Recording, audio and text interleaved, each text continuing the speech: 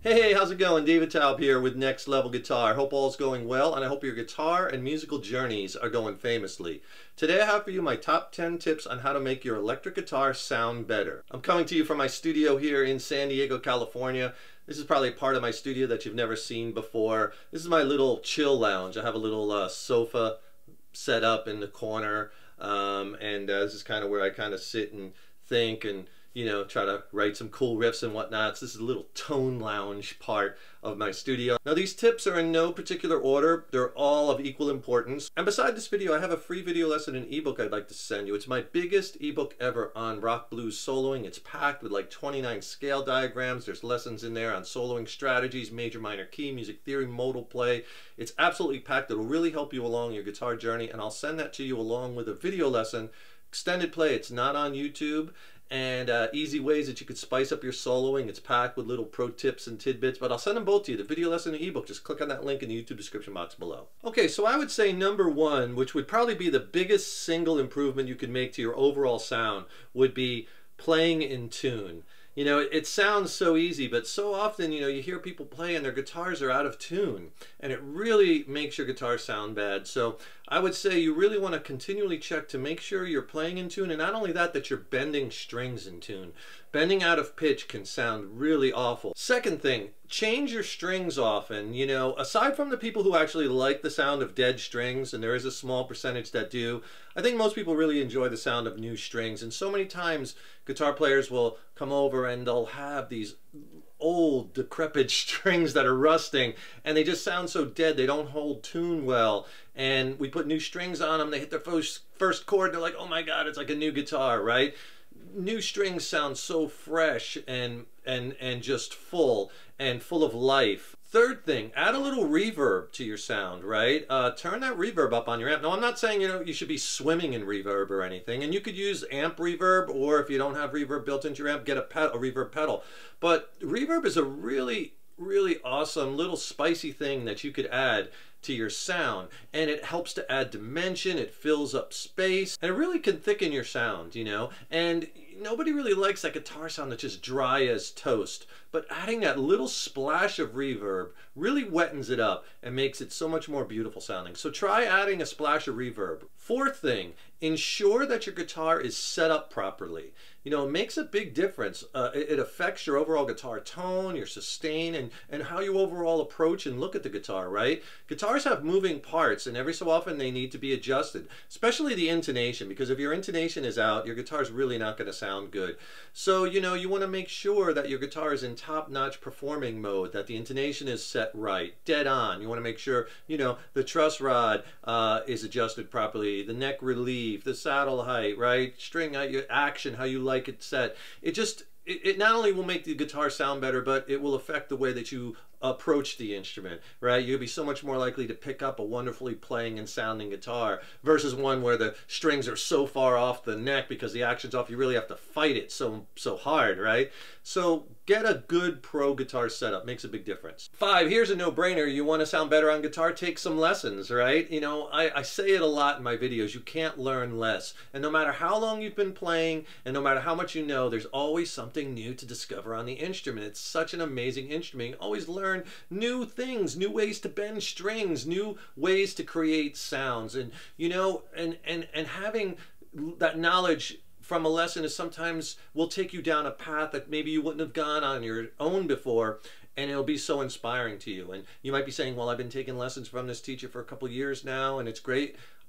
Try another teacher um, not to say that one is better than the other, but just different because a different teacher will give you a different philosophy. And sometimes that will send you down a different path to explore all these creative things to experiment with, right? So take some lessons. And now in, in this age, you could take lessons from, you know, someone anywhere in the world via Skype or Zoom, you know, and top-notch guitar players all over the world are, are teaching private lessons. And you could dial that up on your computer. You could take private lessons from, you know, guitar good teacher in your town, or you could even, you know, take some lessons online. But keep learning. And hey, if you could do me a big favor, please subscribe to the channel. You know, subscribing to the channel, that really helps us to keep bringing the content, as well as then you'll be notified when we have new lessons posted. Also, leave a comment below. Let me know how you like this video. Let me know what tips you have for making electric guitars sound better. And if you like this video, click the like button, give it a thumbs up, right? Share it, and thank you so much for your support. Number six, adjusting the pickup height on your guitar can make a big difference. Oftentimes I find a lot of student guitars, their pickups are too low.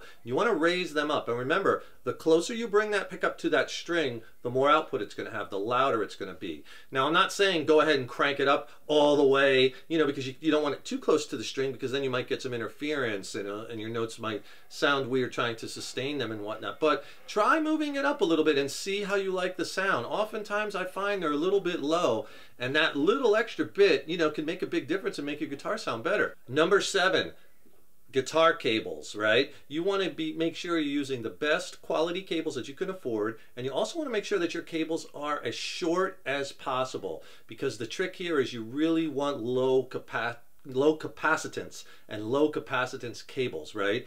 On your pedal board, make sure you keep those cables short. You know, you don't need tremendously long cables. You know what I mean? What are you going to be walking out into the crowd 25 feet, 50 feet, right? No, probably not. Keep your cables as short as possible to really help your overall tone and sound. And buy really good high quality cables and use the same brand of cable throughout your rig. Don't mix and match. I think it makes a little bit of a difference. You know, all these things add up. Number eight, you want to sound better on guitar? Be an expert string muter, right? Let me let that sink in a second. Be an expert string muter. What does that mean? Well, as you probably know, especially if you're playing with any bit of gain on your guitar, you know, there's going to be some string noise. You're going to be hitting other strings and you've got to mute out all that noise. Basically, you have to mute out every note that you are not playing. You only want to hear the ones that you are playing. So in order to do that, you have to use your, you know, your pick hand to mute out the low strings and your fret hand to mute out the high strings. Get both hands working together to mute out and deaden all that string noise. It's so important. It cleans up your sound. It makes you sound so much better. And if you don't know how to do that or you want some tips, I'll put a lesson in the cards on my two-handed string muting technique that'll really help you along in your journey and get you to sound better. But getting rid of all that string noise is an absolute must. Ninth thing is your EQ settings on your amp. You know, you want to sound better. Oftentimes when I go hear live music, so often the guitar player has his bass cranked way too high. And what happens is then uh, your sound gets flubby and muddy. You want to turn that bass way down. You don't want that much bass to, anyway, you don't want to have to compete with the other low end, like from the bass player or the kick drum. Remember, there's only so much sonic space in the spectrum when you're playing, especially with other musicians, right? And the low end is going to be taken up mostly by the bass and the kick drum, right? And the high end is going to be taken up mostly by the cymbals, the, the snare, probably the vocalist. So the guitar is more mid-range. The guitar is in that mid-range of the audio spectrum, right? So try turning that bass down and your mids up. That'll really help you your sound to cut through too. If you're having problems with getting your sound to cut through and you want to sound better, right? Mids up. The other thing is if, if, if you're if you're not cutting through, what do most guitar players do if they can't hear themselves, they're not cutting through? First thing they do, they turn up the volume on their amp. Wrong. That's not going to help you to cut through. The second thing guitar players do is they reach for the gain knob and they start turning up the gain. Wrong again. That's not going to help you to cut through. What you really want to try is turn the gain down a bit and the mid range up and the bass down. Try it. You'll be so amazed how your notes will just jump off the guitar. You'll be able to cut through the mix and sound amazing. That's a big problem. Try, I know it's a tough pill to swallow, less gain, more mid-range, less bass. I play Mesa Boogie amps live. I've been playing Mesa Boogie amps a long time. I love them. Um, I, my main stage rig now, I have a Mark V. I have my bass literally on two you know, and that's a big thing with Mesa amps. A lot of times you got to get that bass down. Now I have a graphic EQ on that amp also. And then I'll add a little bit in with that low slider, throw it back in there. That's another thing you could try. Turn your bass down, get a graphic EQ pedal, and then put it up a little bit. And that sometimes will actually help get it more punchy, right? Tenth thing, and this is if you find yourself playing live or you find yourself playing with a band or something, and, and all of a sudden your sound is a lot maybe thinner than you thought it was, right? I find this happens in some venues, especially outside where the sound just keeps going. It really thins out the guitar sound. If you find that happening in certain venues or if you find that happening, you know, where you're playing in a certain area, here's a little trick that you could do to make your guitar sound better and thicker. Add a little bit of delay. Just a little bit of delay will thicken up your sound in those instances and you could just add like just add a little slap back or maybe just a little bit more uh, repeat than a slap back give it a try and you'll find that it will instantly thicken your sound and, and it's a good fix for those particular cases. Or if you just want a little bit thicker sound, give it a try. It'll really help your guitar sound better. So that's 10 things, but let me give you a little bonus tip. We'll go for number 11. Here's my 11th thing if you want to sound better on guitar. You're probably not going to like to hear this, but here it is. Play less notes. Let me repeat that. Less notes, more space, right?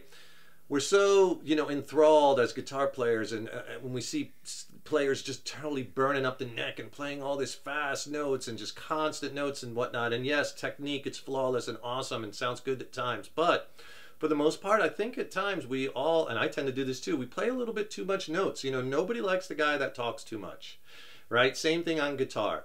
Cut down on the notes. Just try it. Leave some space you know, in, in pockets. Then play fast again, right? Or lots of notes. But try to cut down on the notes. Be more expressive. Leave space. Slide into a note. Bend it. Hold it. Vibrato. Really work the notes and milk the emotion from them. Then go back to burning. You guys and gals have been a great crowd, so I'm going to give you another bonus tip. This is number 12. So top 12 tips to make your electric guitar sound better. You want your guitar to sound a little bit heavier, maybe a little bit thicker. Easy way to do that, tune to E flat. E flat tuning, right? Each string of the guitar goes down a half a step. So low to high, E flat, A flat, D flat, G flat, B flat, E flat. Lots of guitar players have used this. You know, Stevie Ray Vaughan, Jimi Hendrix, Alice in Chains. Black Sabbath may have been the first in the heavier bands to, to, to bring in this detuning this, right? Um, all goes back to Black Sabbath for sure. Uh, but anyway, that it really makes your guitar sound heavier and thicker. Just that half step. I mean, it's amazing how different your guitar is going to sound um, just that half step down. I hope you enjoyed these top 10 tips. I hope they help you along in making your electric guitar sound best as possible. Be sure to subscribe to the channel. You know that really helps us to keep bringing the content as well as then you'll be notified uh, when we have new lessons up. Leave a comment below. Let me know how you like this uh, video. Let me know what tips you have for making your guitar sound better. Let's share and get some dialogue going back and forth, right? And also don't forget to click on that link in the YouTube description box. Get my free video lesson and ebook on uh, essential rock soloing, uh, scale diagrams. It's packed. I'll send them both to you. The video lesson and the ebook for free. Just click on that link below.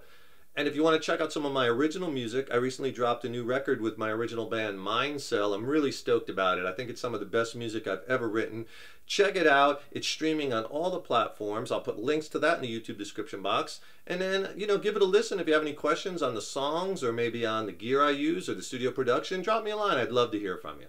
Thank you so much for watching and thank you so much for your support over the years and years. So appreciate it, right? Keep up all that hard work on those guitars. Keep experimenting. Stay creative. And remember, your guitar playing is an evolution. So enjoy the journey. Take care, rock on. I'll see you in the next lesson.